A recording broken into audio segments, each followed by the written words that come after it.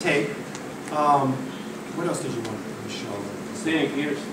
The Peterson, he wants me to do a Peterson, it's a roll. Um, I, I did it in the NCAA tournament probably three or four times, which is very difficult to hit it on those kind of guys.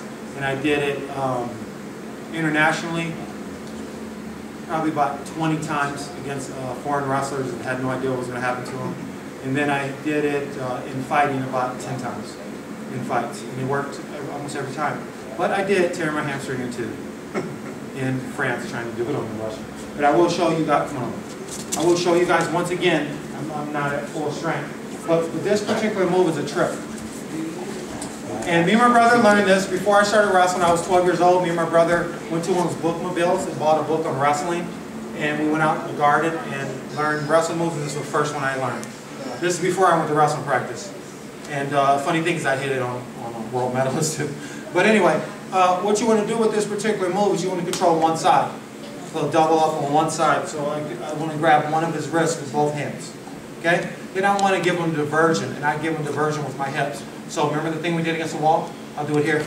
Now, and he's going to follow my hips if he's a good wrestler. He's going to follow my hips. So I'm going one way with my hips. He's following. Then I'm stepping back the other way and sitting down. Wow. So with this particular, remember the last finish? You could, in wrestling, I got to pin the guy to win. I might go for the pin. But typically on a good guy, he's going to get up. And he's going to take my back if, I, if I'm not careful. So I keep this wrist and I keep pressure on the head. Head, I block here again, then I go here again. And in wrestling, I would go under his head, and then I would go for the fall this way. Okay? In fighting, I'd go under his head, put this, posture up, and then start to hit this guy uh, from this position and make him get out of it. All right? Sorry. Oh, no, that's cool. um, one more time. Pick a side that you want to go to. Okay? Oh, in wrestling, we don't do this to get out. This doesn't work.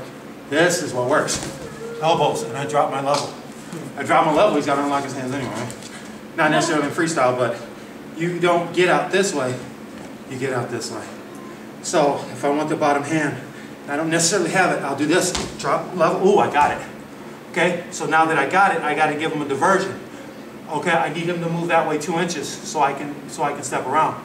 So I'll turn into him hard, this way, and I'll step behind him. Okay? I control this here, and I keep weight on his head like this, so you know, he's trying to take my back, and I meet him. Here, here, fighting, here, wrestling, here. Okay?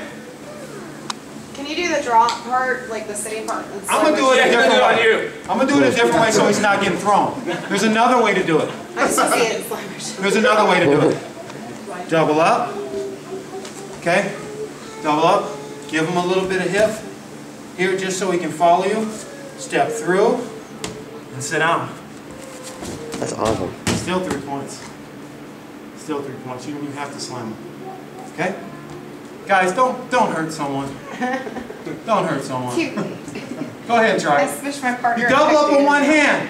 That's the leg you're going to step to. If I got this hand, I'm going to trip this leg. So I have to take my leg and step behind him, sit on my butt. And he's going to roll. When he rolls, cover toward his hips. Go ahead, guys.